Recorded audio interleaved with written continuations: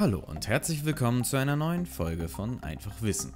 Heute, nach Naidu-Rauswurf, wird der Wendler neuer DSDS-Juror.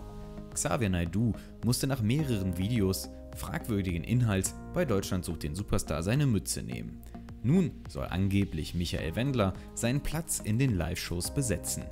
Eingefleischte Klatsch- und Trash-Begeisterte munkeln es bereits, für die meisten anderen aber wäre es wohl eine riesige Überraschung. Nach dem Rauswurf von Xavier Naidoo soll RTL Michael Wendler engagiert haben, um bei Deutschland sucht den Superstar dessen Platz einzunehmen. Naidoo war nach mehreren plötzlich im Netz aufgetauchten Videos, in denen er sich rassistisch äußerte und seinen Verschwörungstheorien freien Lauf ließ, sein Job als DSDS-Juror im zweiten Jahr fristlos gekündigt worden. Wohlmöglich Glück für Michael Wendler, der aktuell ohnehin in Deutschland festsitzt, weil Freundin Laura Müller Kandidatin bei der RTL-Show Let's Dance ist. An eine Rückreise nach Florida ist aufgrund der aktuellen Corona-Lage derzeit nicht zu denken.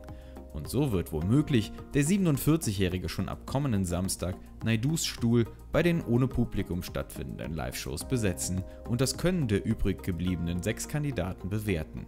Eine offizielle Bestätigung dafür gibt es bislang jedoch noch nicht. Allerdings hat Michael Wendler nicht nur eine erfolgreiche Musikkarriere vorzuweisen, auch ist er in Sachen TV im Allgemeinen und RTL im Speziellen äußerst erfahren. Er war bereits im Dschungelcamp und gemeinsam mit der 19-jährigen Laura bei Das Sommerhaus der Stars. RTL-Schwestersender Vox begleitete das Paar zudem im Rahmen der Auswandererserie Goodbye Deutschland. So, das war's schon wieder mit einer neuen Folge von Einfach Wissen. Ja, schreibt's mal in die Kommentare, was ihr davon halten würdet, wenn der Wendler den Job von Xavier Naidoo übernehmen würdet. Würdet ihr das cool finden oder einfach nur übertrashig? Ja, schreibt's einfach mal in die Kommentare, was ihr davon haltet. Ansonsten sage ich bis zur nächsten Folge und ciao.